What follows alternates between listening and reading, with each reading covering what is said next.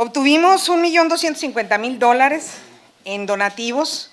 en equipo médico, equipo para bomberos y en medicinas, que desafortunadamente pues todavía permanecen en la ciudad del Paso esperando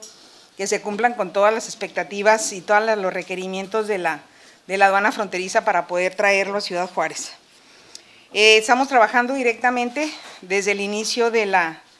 de la gestión del ingeniero Héctor Teto Murguía con la Secretaría de Seguridad Pública Federal con respecto a lo que es la prevención del delito.